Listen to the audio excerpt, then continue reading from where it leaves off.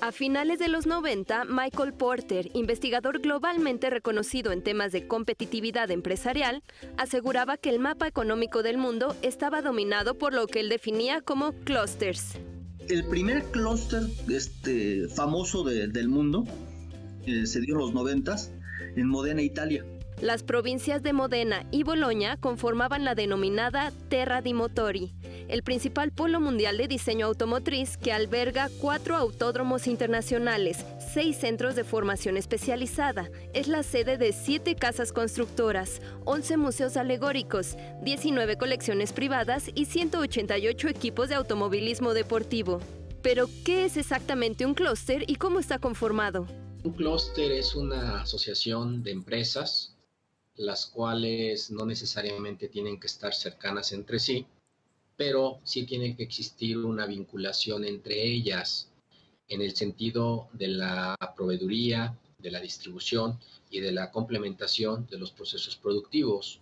De acuerdo con la unidad de inteligencia de la revista británica The Economist, los clústeres de innovación requieren de seis elementos clave. Habilidades, marco normativo flexible, infraestructura, estructuras de bajo costo, la oferta de un buen estilo de vida y serendipia. Tiene que participar universidades, fundamental, centros de investigación, una empresa tractora, una serie de empresas pequeñas este, y medianas que son proveedoras de esa empresa tractora, este, la coordinación de políticas públicas estatales y municipales que faciliten este, los trámites y eh, la, operación de estas empresas, la invitación a sistemas de financieros tradicionales como son los bancos o como no tradicionales como son inversionistas ángeles o como son este fondos de capital de riesgo.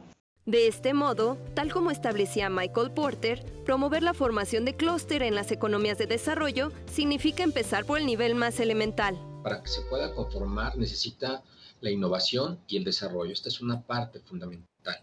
Y para ello eh, requiere que la academia participe con toda la innovación que se está generando desde las instancias de la investigación y que se vincule con la propia empresa para que la empresa, a través de la investigación generada en las universidades, pueda implementar o aplicar estas nuevas innovaciones.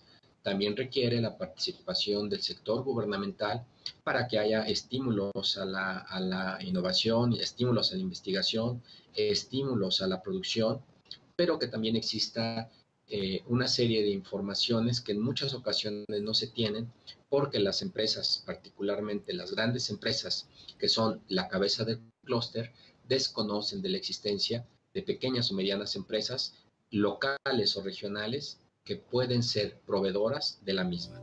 Variantes como la seguridad pública, la infraestructura, así como apoyos fiscales son fundamentales, especialmente para nuevas empresas.